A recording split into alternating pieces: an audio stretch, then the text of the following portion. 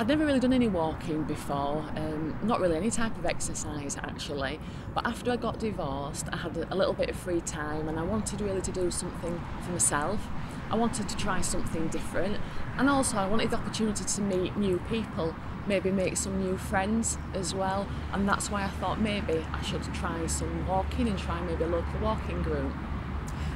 So when I looked, found Take Hike online, I could see they really clearly displayed what walks they did.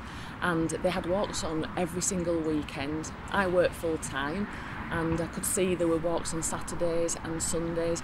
And what I quite liked was that you didn't have to book on that walk so you didn't have to commit to anything up front. You could literally just turn up give it a go. And if you didn't like it you never had to come back I've really enjoyed walking just to see the gorgeous places that there are um, in England.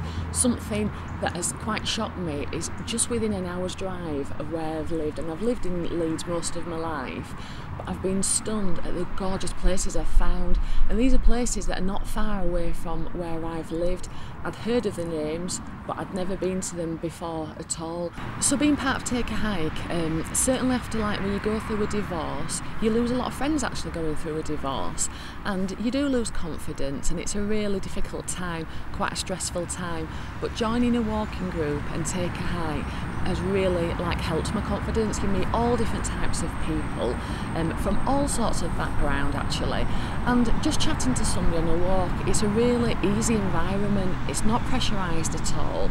And the nice thing about a walk is you can talk to somebody for a couple of minutes, and then you walk walk on, and then you end up talking to somebody else. So it's really not pressurised. It's really relaxed, and it's a really nice place to sort of meet new people without it being like a stressful environment. One person that I always not- noticed was a guy called Rich.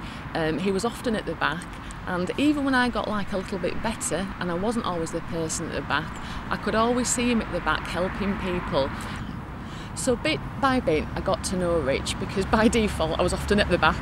Um, I used to call myself the donkey at the back, particularly going uphill. I was very, very slow, and still am actually quite slow going uphill.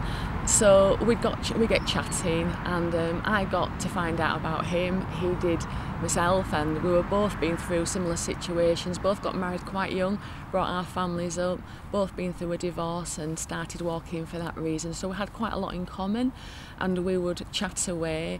And over time, actually, we actually went ended up going out on a date and from there we're now actually married which was a total surprise. So joining the ramblers actually led to me finding a, a husband um, of all things. So when Rich and I used to go walking at the same time we'd been we'd been take a hike. And um, particularly the walks like in winter actually they were a little bit muddy. Times I like would fall over or covered in mud and he would really help me and when he when he actually asked me out, I thought to myself, my goodness, if this guy really likes me, when all he sees me is covered in mud, looking a real mess, um, struggling up hills, you know, not got a lot to offer actually, I thought this guy's a keeper. Walking in winter is really great because you spend most of your time actually inside. So I sometimes go to work in the dark, come home in the dark, um, you're in a car an awful lot or in an office. So to actually get outside, it's really lovely in winter. And although sometimes you get really wet, rainy days, there's a lot of beautiful, really sharp, clear. Might be cold, but you can get wrapped up. And the scenery actually is totally different to the summer. It's actually one of my favourite times of year to walk, as long as you're wrapped up and you're nice and warm. I still remember feeling really scared on that first walk that I went with um, with the Ramblers and my local Take Hike Leeds group. But when I think back to where that's led, it honestly, it's like a miracle, really. I've ended up climbing Mount Kilimanjaro, seeing the whole of England, really, and making some of the best friends that I've got. Join in with the Ramblers Festival of Winter Walks because you will get to see some amazing places that you probably wouldn't do if you didn't go along.